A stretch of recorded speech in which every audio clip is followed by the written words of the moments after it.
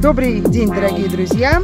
Бывает, что краска у вас хранится и без колпачка. Тогда, естественно, она засыхает, и мы с вами не можем выдавить краску. Что мы с вами делаем?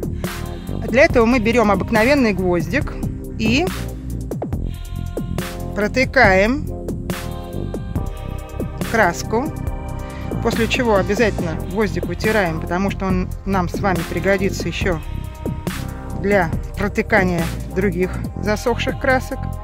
После чего выдавливаем нашу краску на палитру. Вот такой лайфхак для начинающих экономных художников. Спасибо за внимание. Всего доброго. Пока-пока.